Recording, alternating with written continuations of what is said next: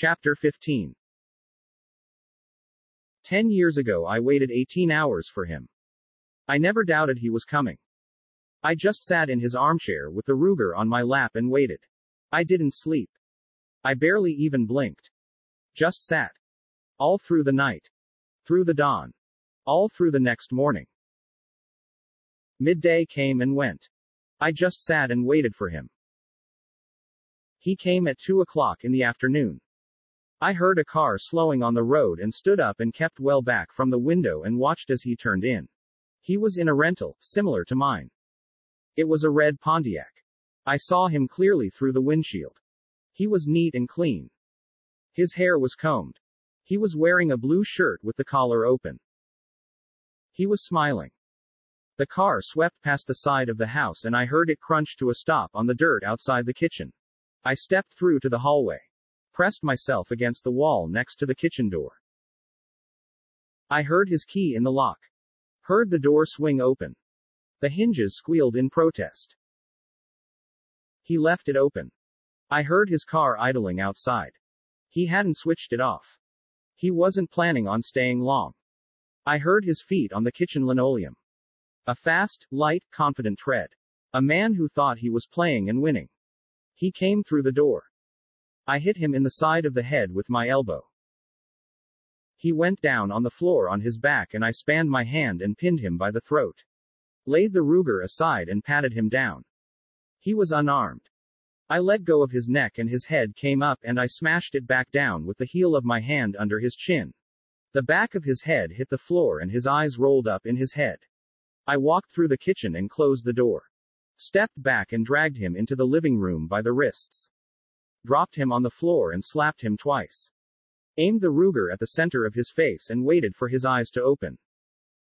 They opened and focused first on the gun and then on me.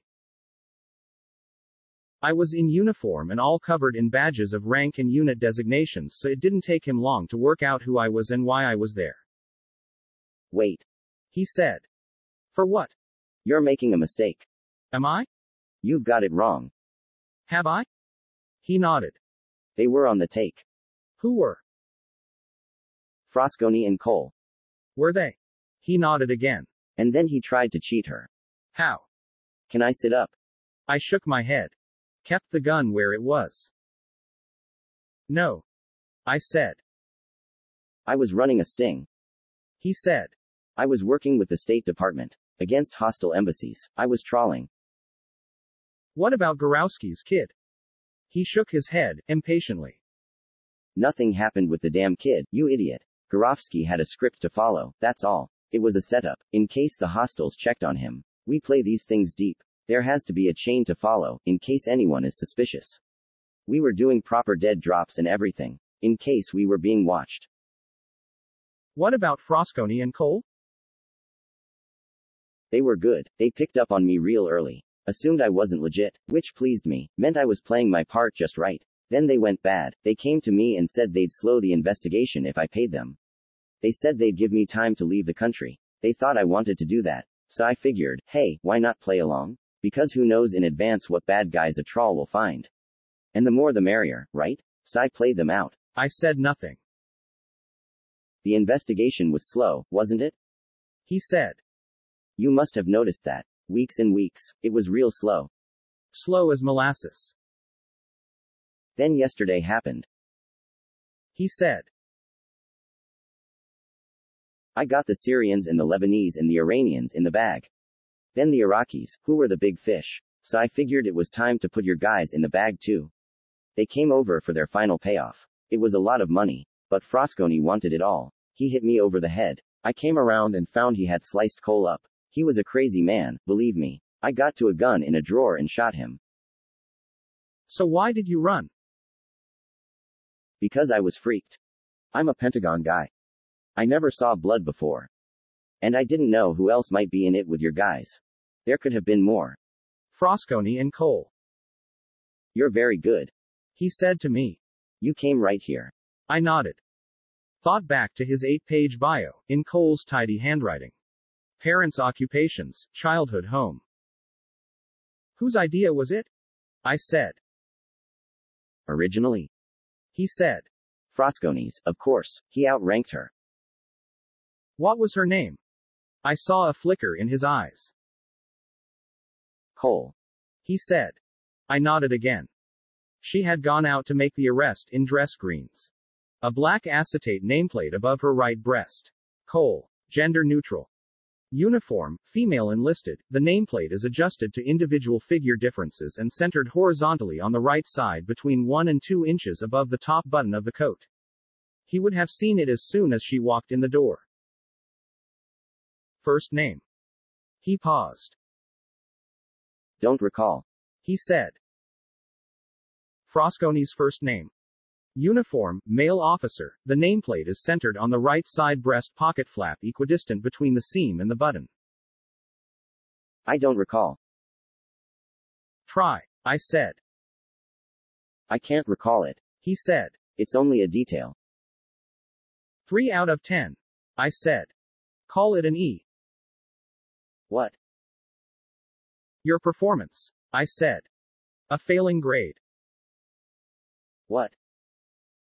Your dad was a railroad worker. I said. Your mom was a homemaker. Your full name is Francis Xavier Quinn. So? Investigations are like that. I said. You plan to put somebody in the bag, you find out all about them first. You were playing those two for weeks and weeks and never found out their first names? Never looked at their service records? Never made any notes? Never filed any reports? He said nothing. And Frasconi never had an idea in his life. I said. Never even took a dump unless somebody told him to. Nobody connected to those two would ever say Frasconi and Kohl. They'd say Kohl and Frasconi. You were dirty all the way and you never saw my guys in your life before the exact minute they showed up at your house to arrest you. And you killed them both. He proved I was right by trying to fight me. I was ready for him. He started to scramble up. I knocked him back down, a lot harder than I really needed to. He was still unconscious when I put him in the trunk of his car. Still unconscious when I transferred him to the trunk of mine, behind the abandoned diner. I drove a little way south on US 101 and took a right that led toward the Pacific. I stopped on a gravel turnout. There was a fabulous view. It was three o'clock in the afternoon and the sun was shining and the ocean was blue. The turnout had a knee-high metal barrier and then there was another half yard of gravel and then there was a long vertical drop into the surf. Traffic was very light. Maybe a car every couple of minutes. The road was just an arbitrary loop off the highway. I opened the trunk and then slammed it again just in case he was awake and planning to jump out at me. But he wasn't. He was starved of air and barely conscious. I dragged him out and propped him up on rubbery legs and made him walk. Let him look at the ocean for a minute while I checked for potential witnesses. There were none. So I turned him around. Stepped away five paces. Her name was Dominique. I said.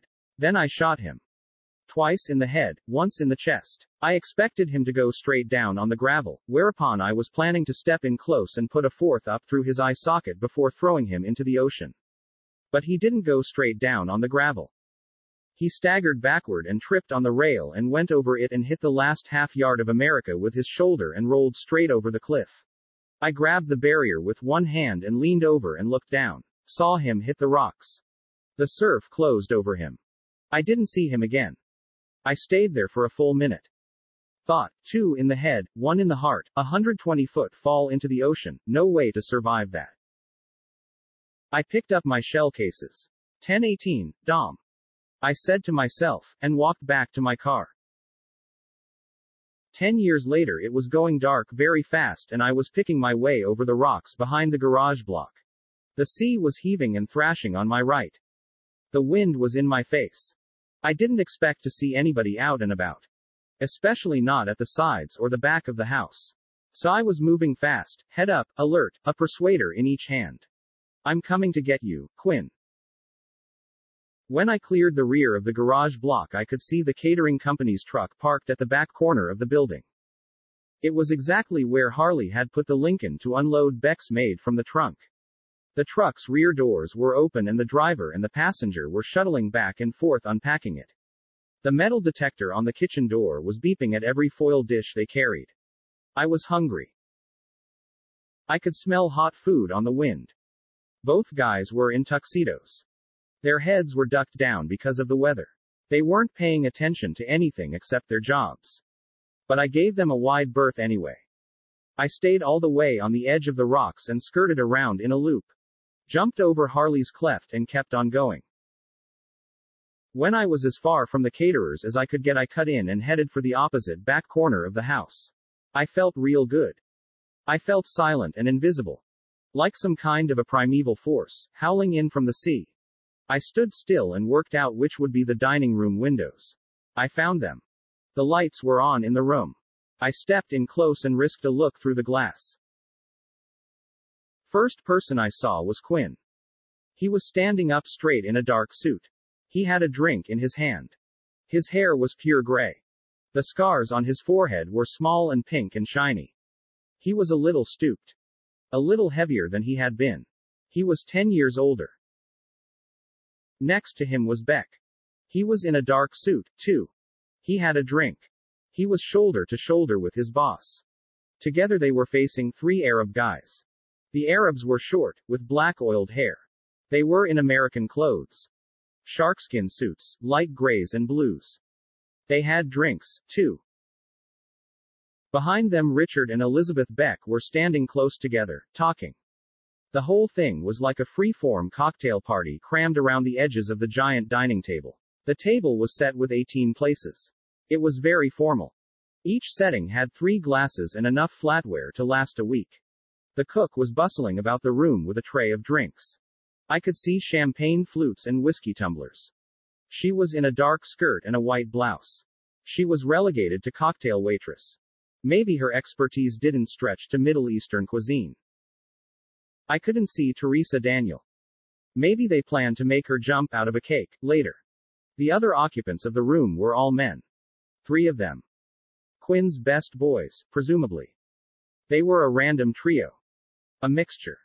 Hard faces, but probably no more dangerous than Angel Doll or Harley had been.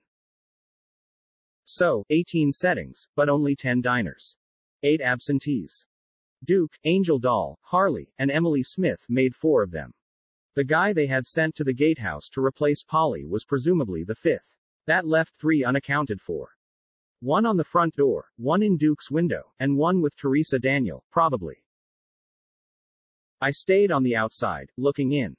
I had been to cocktail parties and formal dinners plenty of times. Depending on where you served, they played a big part in base life. I figured these people would be in there four hours, minimum. They wouldn't come out except for bathroom breaks.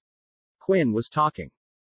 He was sharing eye contact scrupulously among the three Arabs. He was holding forth. Smiling, gesturing, laughing. He looked like a guy who was playing and winning. But he wasn't. His plans had been disrupted. A banquet for 18 had become dinner for 10, because I was still around. I ducked under the window and crawled toward the kitchen. Stayed on my knees and slipped out of my coat and left the persuaders wrapped in it where I could find them again. Then I stood up and walked straight into the kitchen. The metal detector beeped at the Beretta in my pocket. The catering guys were in there. They were doing something with aluminum foil. I nodded at them like I lived there and walked straight into the hallway. My feet were quiet on the thick rugs. I could hear the loud buzz of cocktail conversation from the dining room. I could see a guy at the front door. He had his back to me and he was staring out the window. He had his shoulder leaning on the edge of the window recess. His hair was haloed blue by the wall lights in the distance. I walked straight up behind him. Shoot to kill. Them or me. I paused for one second. Reached around and cupped my right hand under his chin. Put my left knuckles against the base of his neck. Jerked up and back with my right and down and forward with my left and snapped his neck at the fourth vertebra. He sagged back against me and I caught him under the arms and walked him into Elizabeth Beck's parlor and dumped him on the sofa. Dr. Zhivago was still there on a side table.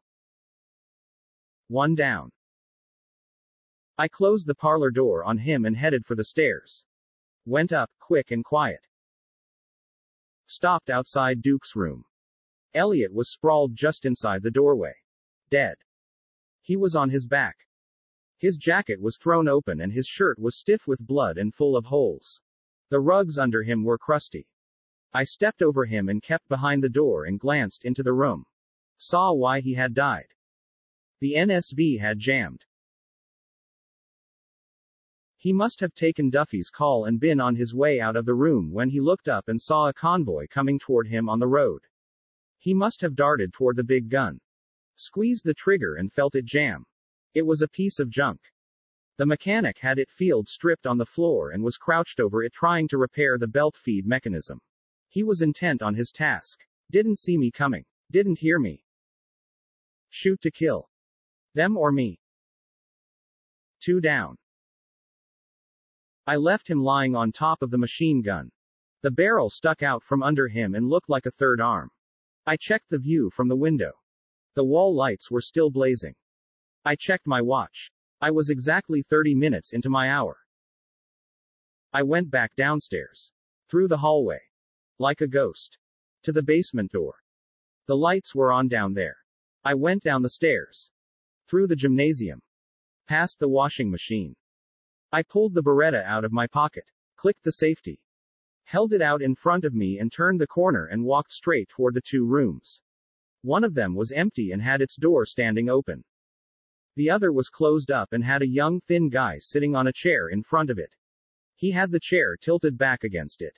He looked straight at me. His eyes went wide. His mouth came open. No sound came out.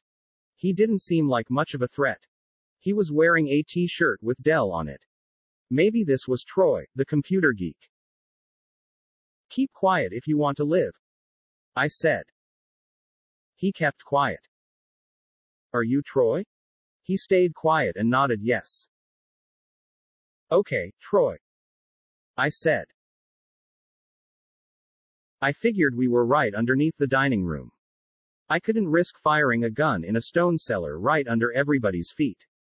So I put the Beretta back in my pocket and caught him around the neck and banged his head on the wall, twice, and put him to sleep. Maybe I cracked his skull, maybe I didn't. I didn't really care either way.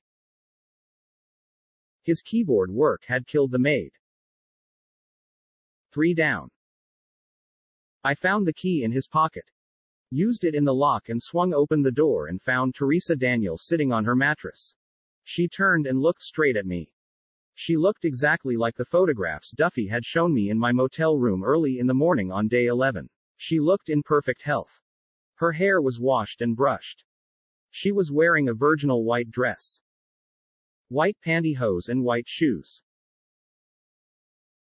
Her skin was pale and her eyes were blue. She looked like a human sacrifice. I paused a moment, unsure. I couldn't predict her reaction. She must have figured out what they wanted from her. And she didn't know me. As far as she knew, I was one of them, ready to lead her right to the altar. And she was a trained federal agent. If I asked her to come with me, she might start fighting. She might be storing it up, waiting for her chance. And I didn't want things to get noisy. Not yet. But then I looked again at her eyes. One pupil was enormous. The other was tiny. She was very still. Very quiet. Slack and dazed. She was all doped up. Maybe with some kind of a fancy substance. What was it? The date rape drug? Rohypnol? Rofinol? I couldn't remember its name. Not my area of expertise. Elliot would have known. Duffy or Villanueva would still know. It made people passive and obedient and acquiescent. Made them lie back and take anything they were told to take. Teresa. I whispered. She didn't answer. You okay? I whispered. She nodded. I'm fine. She said. Can you walk? Yes. She said. Walk with me. She stood up. She was unsteady on her feet. Muscle weakness, I guessed. She had been caged for nine weeks. This way. She didn't move.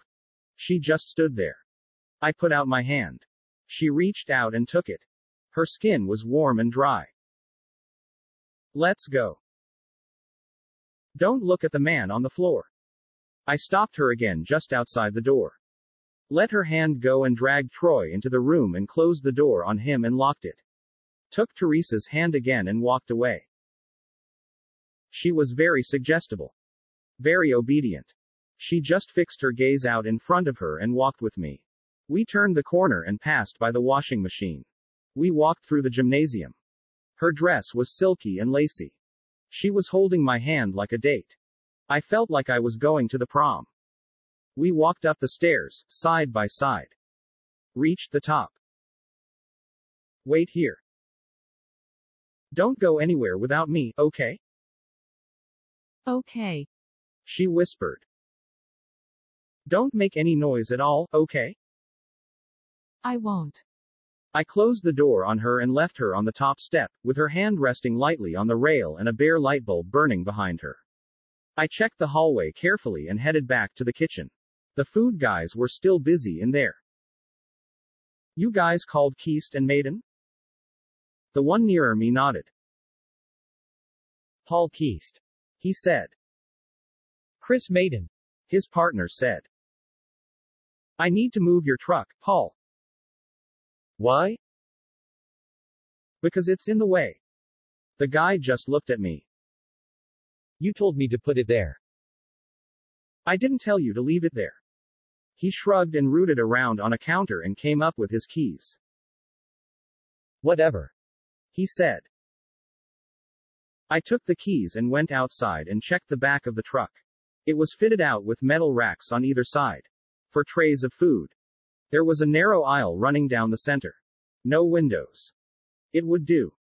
I left the rear doors open and slid into the driver's seat and fired it up. Backed it out to the carriage circle and turned it around and reversed it back to the kitchen door. Now it was facing the right way. I killed the motor but left the keys in it. Went back inside the kitchen. The metal detector beeped. What are they eating? I asked. Lamb kebabs. Maiden said. With rice and couscous and hummus. Stuffed grape leaves to start. Baklava for dessert. With coffee. That's Libyan? It's generic. He said. They eat it everywhere. I used to get that for a dollar.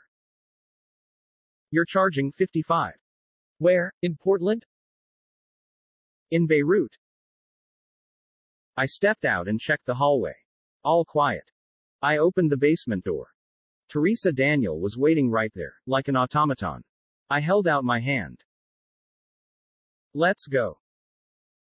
She stepped out. I closed the door behind her. Walked her into the kitchen. Keast and Maiden stared at her. I ignored them and walked her through. Out through the door. Over to the truck. She shivered in the cold. I helped her climb into the back. Wait there for me now. Very quiet, okay? She nodded and said nothing. I'm going to close the doors on you. She nodded again. I'll get you out of there soon. Thank you. She said. I closed the doors on her and went back to the kitchen. Stood still and listened. I could hear talking from the dining room. It all sounded reasonably social. When do they eat? 20 minutes. Maiden said. When they're through with the drinks. There was champagne included in the $55, you know. Okay. Don't take offense. I checked my watch. 45 minutes gone. 15 minutes to go. Show time. I went back outside into the cold. Slipped into the food truck and fired it up. Eased it forward, slowly around the corner of the house, slowly around the carriage circle, slowly down the driveway. Away from the house. Through the gate. Onto the road. I hit the gas. Took the curves fast. Jammed to a stop level with Villanueva's Taurus. Jumped out. Villanueva and Duffy were instantly out to meet me. Teresa's in the back. She's okay but she's all doped up. Duffy pumped her fists and jumped on me and hugged me hard and Villanueva wrenched open the doors. Teresa fell into his arms. He lifted her down like a child. Then Duffy grabbed her away from him and he took a turn hugging me. You should take her to the hospital, We'll take her to the motel. Duffy said. We're still off the books. She'll be okay. Villanueva said. Looks like they gave her roofies. Probably from their dope dealer pals. But they don't last long. They flush out fast. Duffy was hugging Teresa like a sister. Villanueva was still hugging me. Elliot's dead. That put a real damper on the mood. Call ATF from the motel. If I don't call you first. They just looked at me. I'm going back now. I turned the truck around and headed back. I could see the house ahead of me. The windows were lit up yellow. The wall lights flared blue in the mist. The truck fought the wind. Plan B, I decided. Quinn was mine, but the others could be ATF's headache. I stopped on the far side of the carriage circle and reversed down the side of the house. Stopped outside the kitchen. Got out and walked around the back of the house and found my coat. Unwrapped the persuaders. Put my coat on. I needed it. It was a cold night and I would be on the road again in about five minutes. I stepped across to the dining room windows to check inside. They had closed the drapes. Makes sense, I thought. It was a wild blustery night. The dining room would look better with closed drapes. Cozier. Oriental rugs on the floor, wood paneling, silver on the linen tablecloth. I picked up the persuaders and walked back to the kitchen. The metal detector squealed. The food guys had 10 plates with stuffed grape leaves all lined up on a counter. The leaves looked dark and oily and tough. I was hungry but I couldn't have eaten one. The way my teeth were right then would have made it impossible. I figured I would be eating ice cream for a week, thanks to Polly. Hold off with the food for five minutes, okay? Keast and Maiden stared at the shotguns. Your keys. I dropped them next to the grape leaves. I didn't need them anymore. I had the keys Beck had given me. I figured I would leave by the front door and use the Cadillac. Faster. More comfortable. I took a knife from the wooden block. Used it to put a slit in the inside of my right-hand coat pocket, just wide enough to allow a persuader's barrel down into the lining. I picked the gun I had killed Harley with and holstered it there. I held the other one two-handed. Took a breath. Stepped into the hallway. Keast and Maiden watched me go. First thing I did was check the powder room. No point in getting all dramatic if Quinn wasn't even in the dining room. But the powder room was empty. Nobody on bathroom break. The dining room door was closed. I took another breath. Then another. Then I kicked it in and stepped inside and fired two Brennekes into the ceiling. They were like stun grenades. The twin explosions were colossal. Plaster and wood rained down. Dust and smoke filled the air. Everybody froze like statues. I leveled the gun at Quinn's chest. Echoes died away. Remember me? Elizabeth Beck screamed in the sudden silence. I moved another step into the room and kept the muzzle on Quinn. Remember me? I said again. One second. Two. His mouth started moving. I saw you in Boston. He said. On the street, a Saturday night, maybe two weeks ago. Try again. His face was completely blank. He didn't remember me. They diagnosed amnesia, Duffy had said. Certainly about the trauma, because that's almost inevitable. They figured he might be genuinely blank about the incident and the previous day or two. I'm Reacher. I need you to remember me. He glanced helplessly at Beck. Her name was Dominique. He turned back to me, stared at me, eyes wide. Now he knew who I was. His face changed. Blood drained out and fury swarmed in. And fear. The 22 scars went pure white. I thought about aiming right between them. It would be a difficult shot. You really thought I wouldn't find you? Can we talk? He said. Sounded like his mouth was dry. No. You've already been talking 10 extra years. We're all armed here. Beck said. He sounded afraid. The three Arabs were staring at me. They had plaster dust stuck to the oil in their hair. So tell everybody to hold their fire. No reason for more than one casualty here. People eased away from me. Dust settled on the table. A slab of falling ceiling had broken a glass. I moved with the crowd and turned and adjusted the geometry to herd the bad guys together at one end of the room. At the same time, I tried to force Elizabeth and Richard and the cook together at the other, where they would be safe, by the window. Pure body language. I turned my shoulder and inched forward, and even though the table was between me and most of them, they went where I wanted them. The little gathering parted obediently into two groups, eight and three. Everybody should step away from Mr. Xavier now. Everybody did, except Beck. Beck stayed right at his shoulder. I stared at him. Then I realized Quinn had a grip on his arm. He was holding it tight just above the elbow. Pulling on it. Pulling on it hard. Looking for a human shield. These slugs are an inch wide, I said to him. As long as I can see an inch of you, that won't work very well. He said nothing back. Just kept on pulling. Beck was resisting. There was fear in his eyes, too. It was a static little slow motion contest. But I guessed Quinn was winning it. Inside 10 seconds, Beck's left shoulder was overlapping Quinn's right. Both of them were quivering with effort. Even though the persuader had a pistol grip instead of a stock, I raised it high to my shoulder and sighted carefully down the barrel. I can still see you. Don't shoot. Richard Beck said, behind me. Something in his voice. I glanced back at him. Just a brief turn of my head. Just a flash. There and back. He had a Beretta in his hand. It was identical to the one in my pocket. It was pointed at my head. The electric light was harsh on it. It was highlighted. Even though I had only looked for a fraction of a second, I had seen the elegant engraving on the slide. Pietro Beretta. I had seen the dew of new oil. I had seen the little red dot that is revealed when the safety is pushed to fire. Put it away, Richard. Not while my father is there. He said. Let go of him, Quinn. Don't shoot, Reacher. Richard said. I'll shoot you first.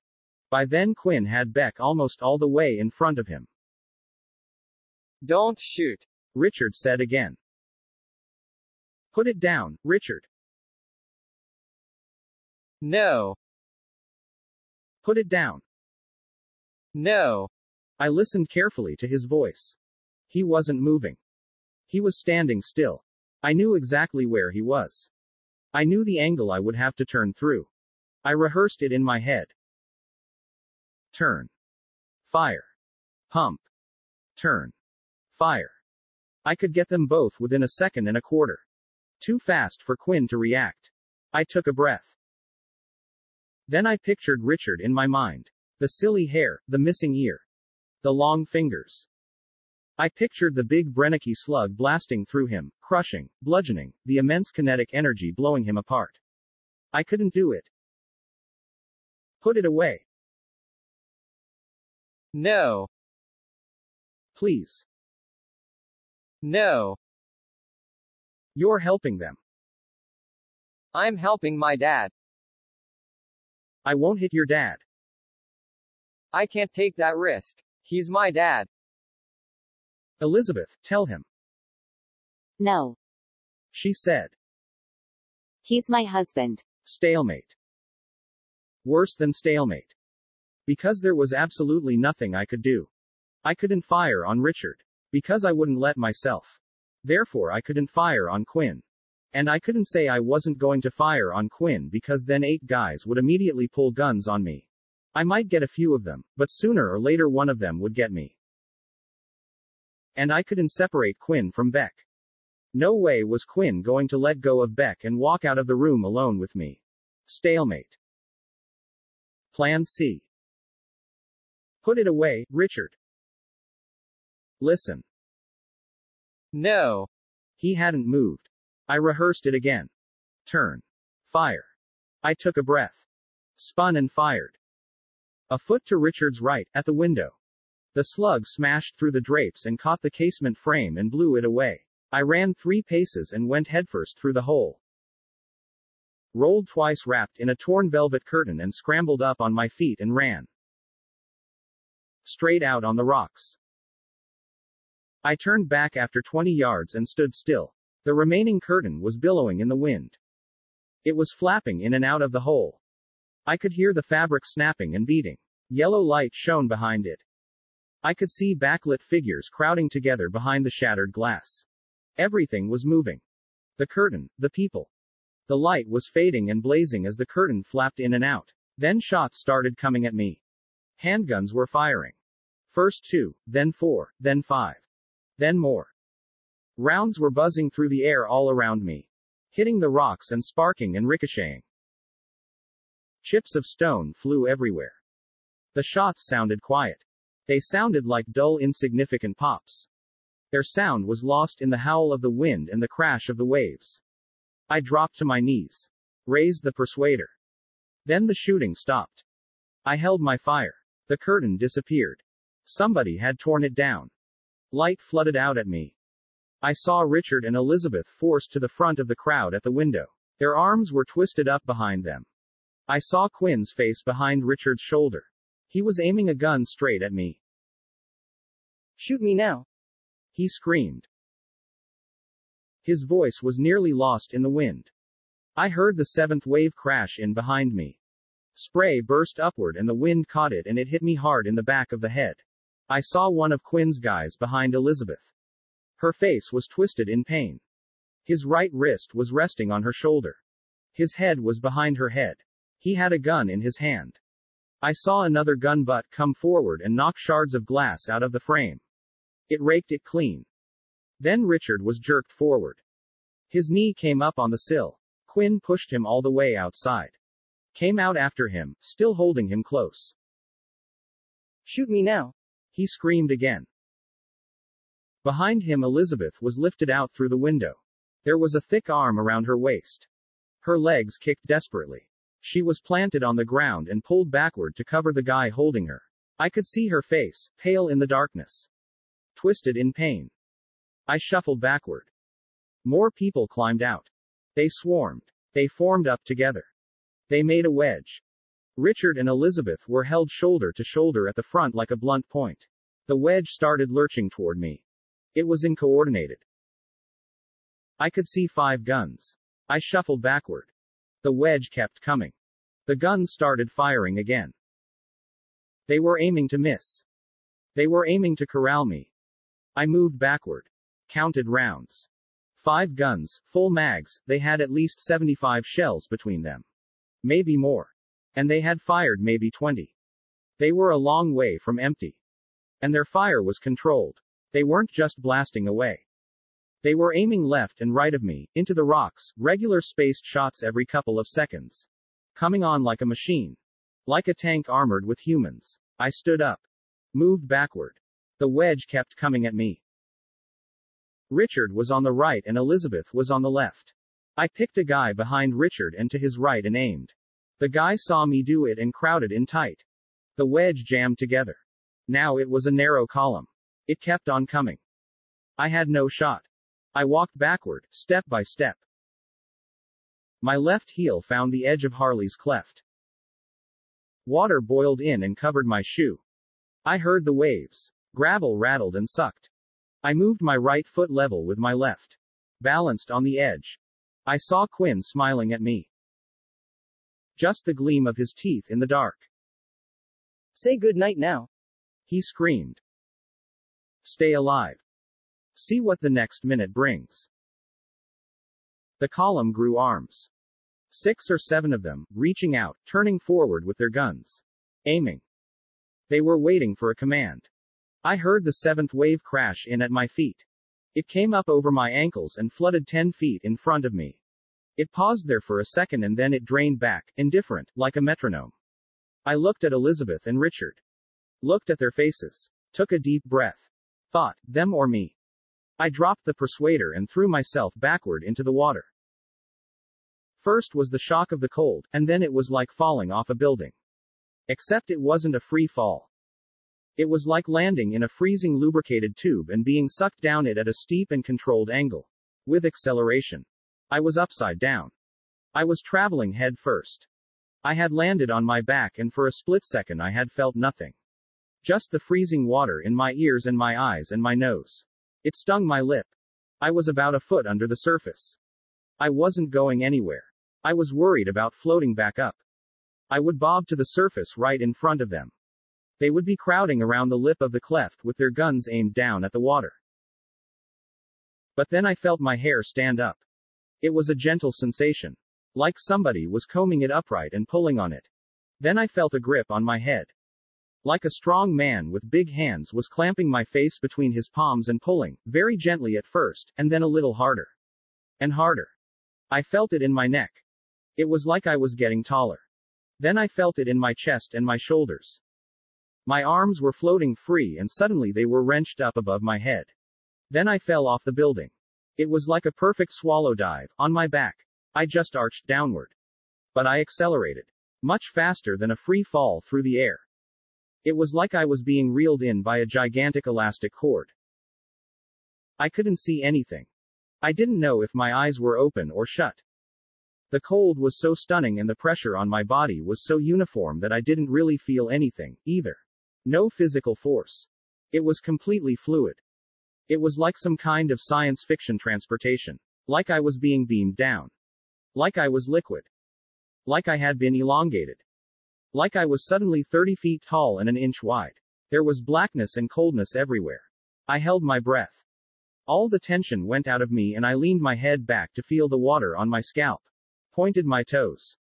Arched my spine. Stretched my arms far up ahead of me. Opened my fingers to feel the water flow between them. It felt very peaceful. I was a bullet. I liked it.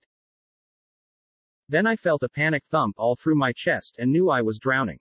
So I started to fight. I tumbled myself over and my coat came up around my head. I tore it off, spinning and somersaulting in the freezing tube. The coat whipped across my face and hurtled away. I slid out of my jacket. It disappeared. I suddenly felt the bitter cold. I was still going down fast. My ears were hissing. I was tumbling in slow motion. Whipping down and down faster than I had ever traveled and rolling and tumbling like I was mired in treacle. How wide was the tube? I didn't know. I kicked desperately and clawed at the water around me. It felt like quicksand. Don't swim down. I kicked and fought and tried to find the edge. Bargained with myself. Concentrate. Find the edge. Make progress. Stay calm. Let it take you down 50 feet for every foot you move sideways. I stopped for a second and regrouped and started swimming properly. And hard. Like the tube was the flat surface of a pool and I was in a race. Like there was a girl and a drink and a chair on the patio for the winner. How long had I been down? I didn't know. Maybe 15 seconds. I could hold my breath for maybe a minute. So relax. Swim hard. Find the edge. There had to be an edge.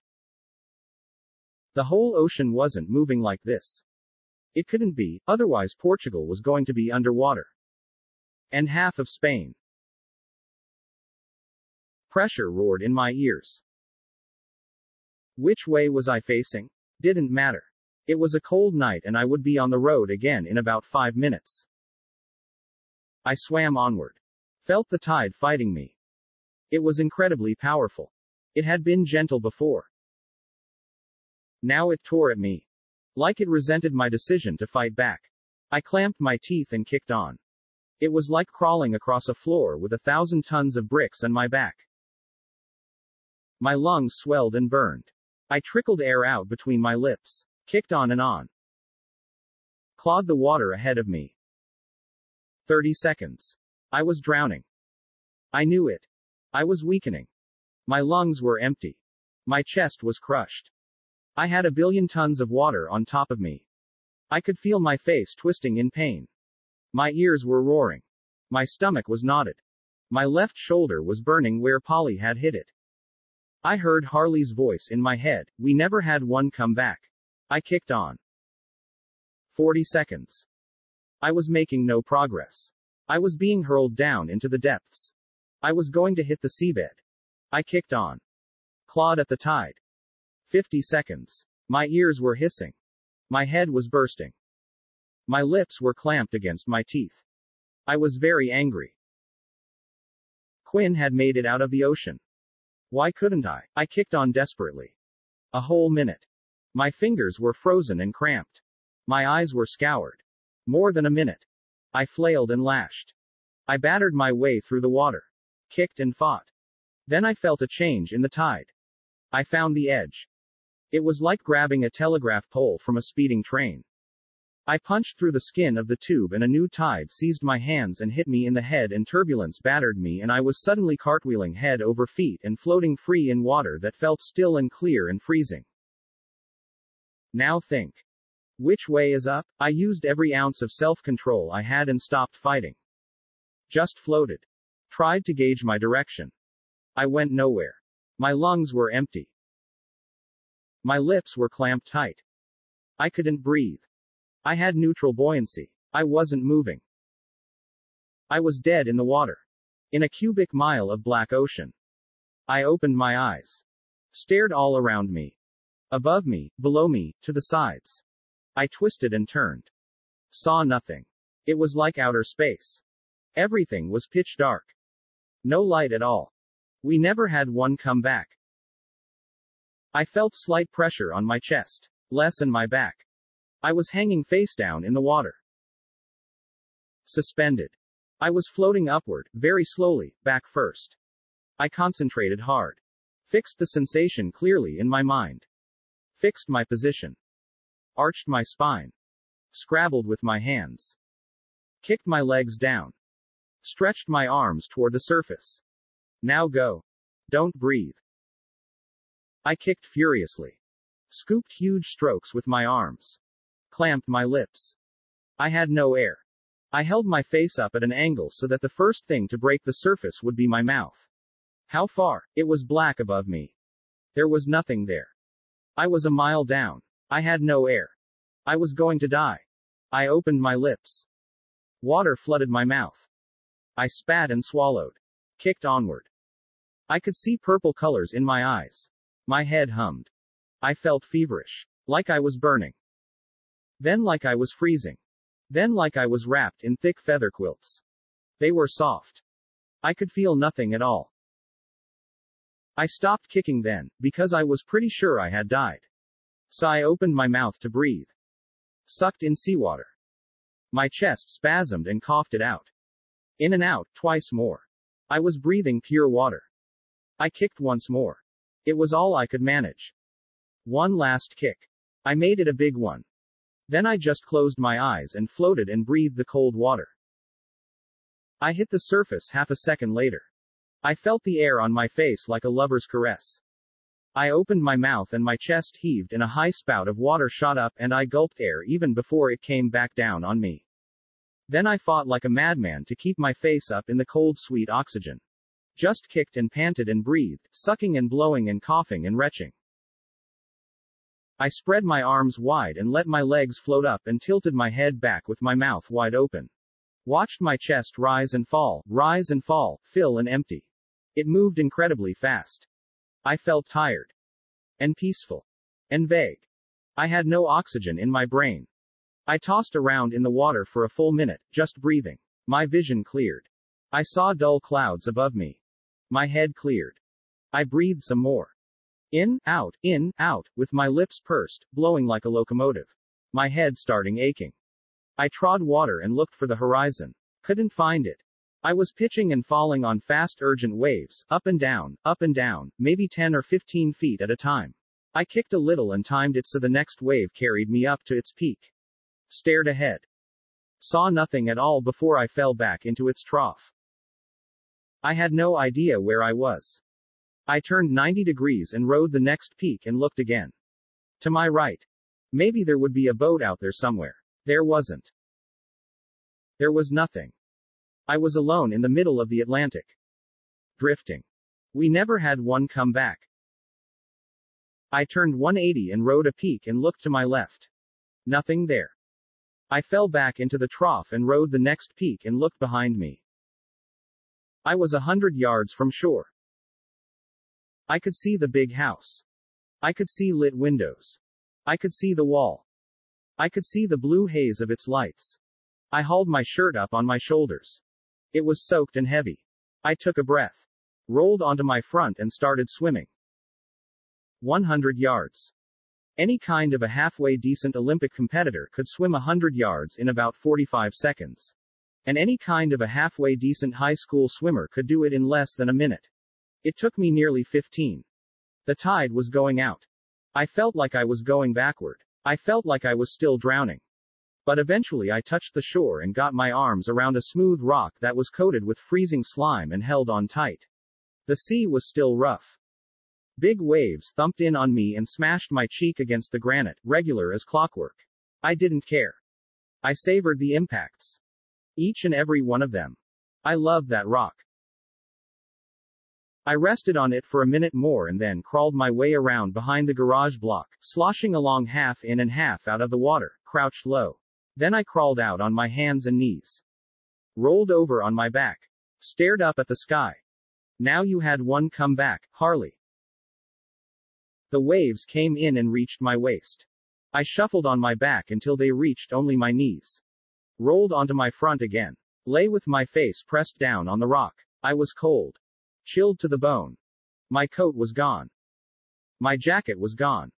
The persuaders were gone. The beretta was gone. I stood up. Water sluiced off me. I staggered a couple of steps. Heard Leon Garber in my head, what doesn't kill you only makes you stronger. He thought JFK had said it. I thought it was actually Friedrich Nietzsche, and he said destroy, not kill. What doesn't destroy us makes us stronger. I staggered two more steps and leaned up against the back of the courtyard wall and threw up about a gallon of salt water. That made me feel a little better.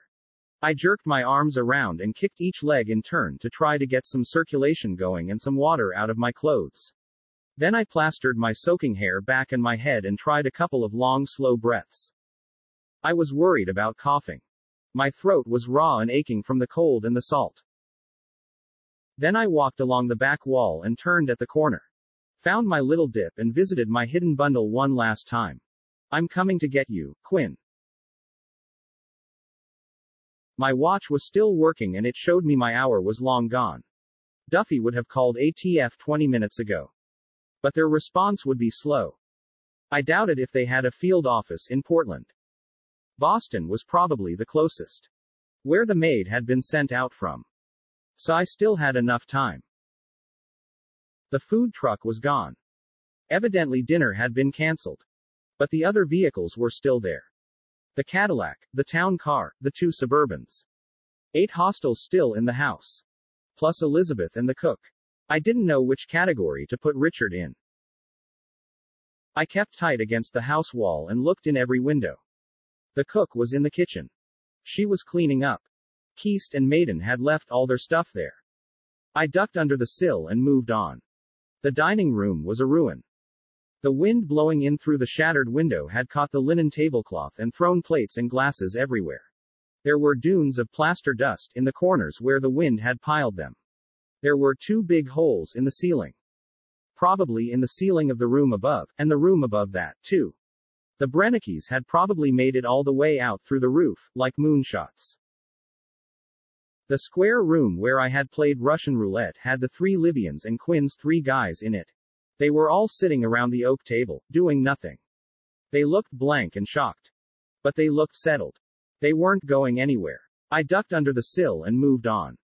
Came all the way around to Elizabeth Beck's parlor. She was in there. With Richard. Somebody had taken the dead guy out. She was on her sofa, talking fast. I couldn't hear what she was saying, but Richard was listening hard. I ducked under the sill and moved on. Beck and Quinn were in Beck's little room. Quinn was in the red armchair and Beck was standing in front of the cabinet with the machine gun display. Beck looked pale and grim and hostile and Quinn looked full of himself. He had a fat unlit cigar in his hand. He was rolling it between his fingers and thumb and lining up a silver cutter at the business end. I made it back to the kitchen after completing a whole circle. Stepped inside. I didn't make a sound. The metal detector stayed quiet. The cook didn't hear me coming. I caught her from behind. Clamped a hand over her mouth and dragged her over to a counter. I wasn't taking any chances after what Richard had done to me. I found a linen towel in a drawer and used it as a gag. Found another to tie her wrists. Found another to tie her ankles. I left her sitting uncomfortably on the floor next to the sink. I found a fourth towel and put it in my pocket. Then I stepped out into the hallway. It was quiet. I could hear Elizabeth Beck's voice, faintly. Her parlor door was standing open. I couldn't hear anything else. I went straight to the door of Beck's den. Opened it. Stepped inside. Closed it again. I was met by a haze of cigar smoke.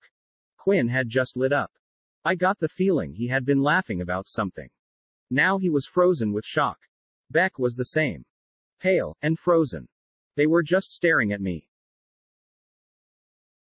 I'm back. Beck had his mouth open. I hit him with a cigarette punch. His mouth slammed shut and his head snapped back and his eyes rolled up and he went straight down on the three deep rugs on the floor.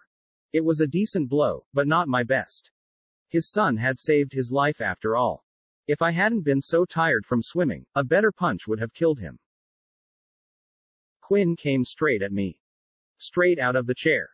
He dropped his cigar. Went for his pocket. I hit him in the stomach. Air punched out of him and he folded forward and dropped to his knees. I hit him in the head and pushed him down on his stomach. Knelt on his back, with my knees high up between his shoulder blades. No. He said. He had no air.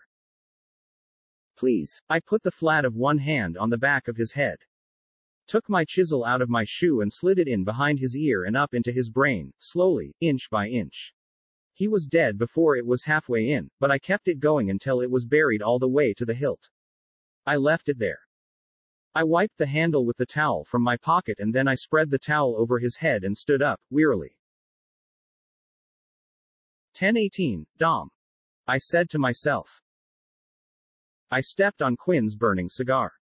Took Beck's car keys out of his pocket and slipped back into the hallway. Walked through the kitchen. The cook followed me with her eyes. I stumbled around to the front of the house. Slid into the Cadillac. Fired it up and took off west. It took me 30 minutes to get to Duffy's motel. She and Villanueva were together in his room with Teresa Justice. She wasn't Teresa Daniel anymore. She wasn't dressed like a doll anymore, either. They had her in a motel robe. She had showered. She was coming around fast. She looked weak and wan, but she looked like a person. Like a federal agent. She stared at me in horror. At first I thought she was confused about who I was.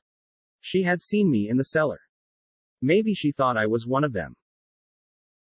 But then I saw myself in the mirror on the closet door and I saw her problem. I was wet from head to toe. I was shaking and shivering. My skin was dead white.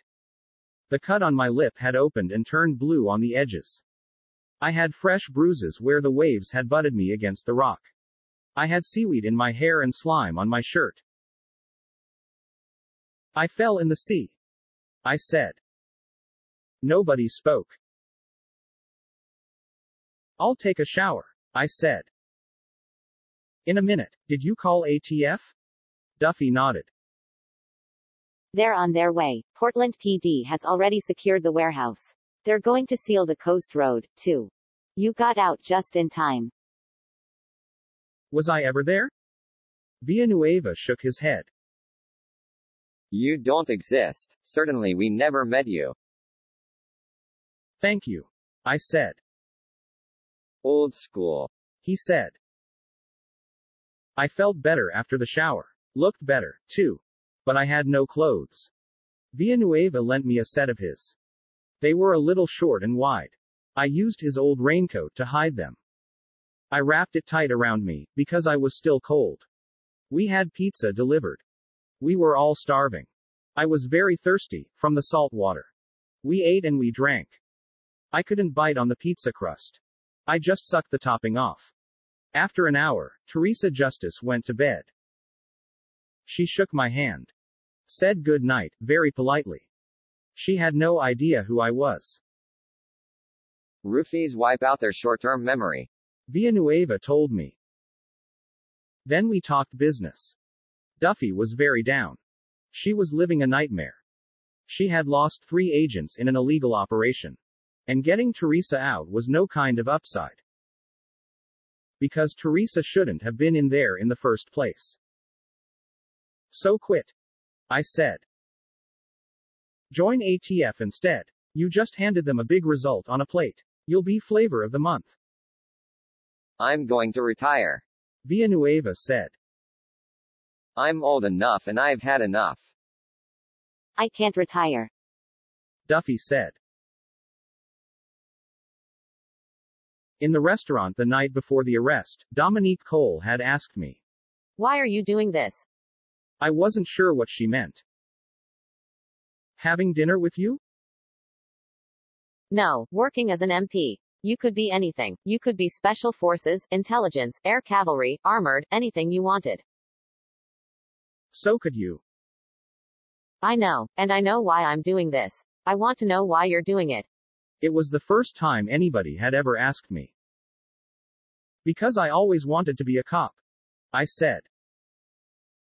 But I was predestined for the military. Family background, no choice at all. So I became a military cop. That's not really an answer. Why did you want to be a cop in the first place? I shrugged. It's just the way I am. Cops put things right. What things? They look after people. They make sure the little guy is okay. That's it, the little guy? I shook my head. No. I said. Not really. I don't really care about the little guy. I just hate the big guy. I hate big smug people who think they can get away with things. You produce the right results for the wrong reasons, then. I nodded. But I try to do the right thing. I think the reasons don't really matter. Whatever, I like to see the right thing done. Me too. She said. I try to do the right thing. Even though everybody hates us and nobody helps us and nobody thanks us afterward. I think doing the right thing is an end in itself. It has to be, really, doesn't it? Did you do the right thing? I asked, ten years later. Duffy nodded. Yes.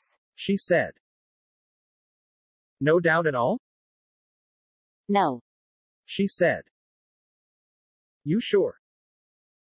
Totally. So relax. I said. That's the best you can ever hope for. Nobody helps and nobody says thanks afterward. She was quiet for a spell. Did you do the right thing? She said. No question, I said. We left it at that. Duffy had put Teresa Justice in Elliot's old room. That left Villanueva in his, and me in Duffy's. She seemed a little awkward about what she had said before. About our lack of professionalism. I wasn't sure if she was trying to reinforce it or trying to withdraw it. Don't panic. I said. I'm way too tired. And this time, I proved I was. Not for lack of trying. We started. She made it clear she wanted to withdraw her earlier objection. Made it clear she agreed that saying yes was better than saying no. I was very happy about that, because I liked her a lot. So we started. We got naked and got in bed together and I remember kissing her so hard it made my mouth hurt. But that's all I remember. I fell asleep. I slept the sleep of the dead. 11 hours straight. They were all gone when I woke up. Gone to face whatever their futures held for them. I was alone in the room, with a bunch of memories. It was late morning. Sunlight was coming in through the shades. Motes of dust were dancing in the air. Villanueva's spare outfit was gone from the back of the chair. There was a shopping bag there instead. It was full of cheap clothes. They looked like they would fit me very well. Susan Duffy was a good judge of sizes. There were two complete sets. One was for cold weather. One was for hot. She didn't know where I was headed. So she had catered for both possibilities. She was a very practical woman. I figured I would miss her. For a time. I dressed in the hot weather stuff. Left the cold weather stuff right there in the room. I figured I could drive Beck's Cadillac out to I-95. To the Kennebunk rest area. I figured I could abandon it there. Figured I could catch a ride south without any problem. And I-95 goes to all kinds of places, all the way down to Miami.